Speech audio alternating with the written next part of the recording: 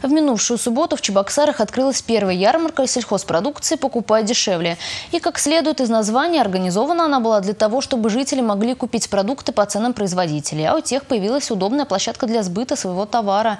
Опыт оказался удачным, так что проводить подобные ярмарки планируют и дальше.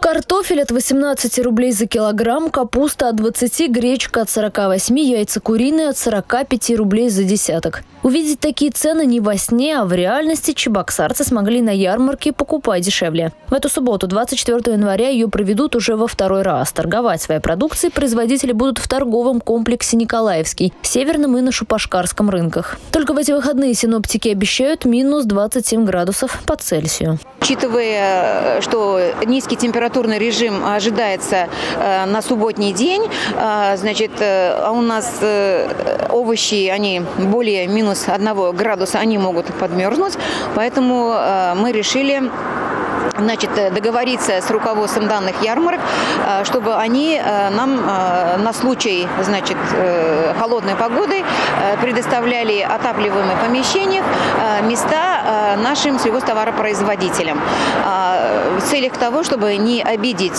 тех индивидуальных предпринимателей, которые уже на сегодняшний день имеют долгосрочные договорные, договора аренды. Где-то, наверное, по 4 места будет на каждый, по каждому адресу. Работать ярмарка будет с 10 утра до 3 часов дня.